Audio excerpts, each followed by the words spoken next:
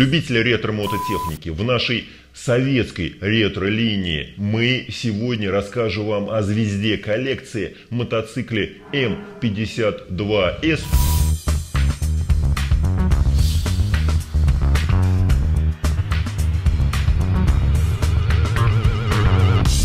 Очень редком ну, конечно, может, его и видели до нашего ролика вживую, но прокатиться, но рассмотреть, рассказать можно только в Политехническом музее в Москве и у нас в Петра-Дубраве.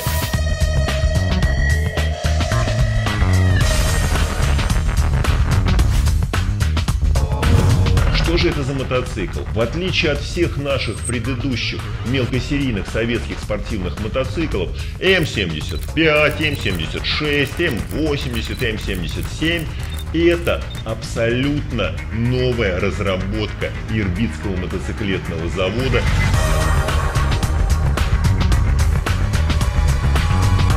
500-кубовый верхнеклапанный двигатель, который потом дал путевку жизнь знаменитому Уралом М63, который каждый видел на дорогах, а пожалуй многие и ездили на них. Великолепный мотоцикл, спортивный. Спортивный характер вы заметили, выдает отсутствие светотехники. Но сам этот мотоцикл из начала 60-х наполнен такими техническими новинками, что ого-го, и сегодня они кажутся нормальными, что ли.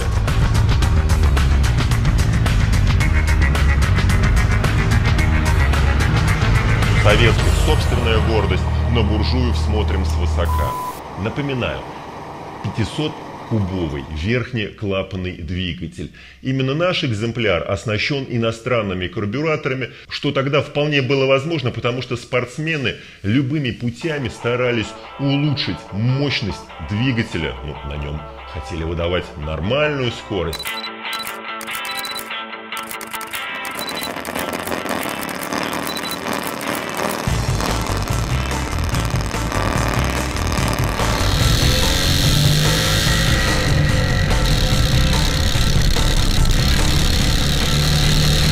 Мотоцикл основан еще на раме М72, но, как вы помните, получил новый двигатель. Что выдает спортивный характер этого двигателя? Есть одна деталь. Это привод тахометра, прибора, который изменяет число оборотов двигателя. Ведь что важно при рекордных заездах? Не скорость, нет, дорогие друзья, а контроль масляного голодания двигателя в зависимости от его оборотов, что дает возможность осуществить именно тахометр.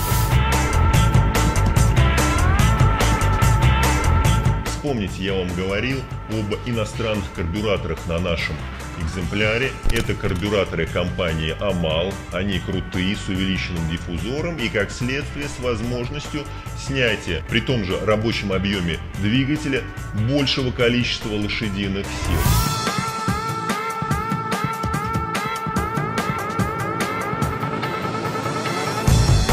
Если вы увидите на переднем колесе вот такой агрегат, то это значит, что перед вами М52С впервые были на барабанных тормозах применены вентилируемые барабаны. Через это устройство осуществляется принудительный приток воздуха к тормозному барабану для его лучшего охлаждения и, соответственно, для лучшего и более эффективного торможения.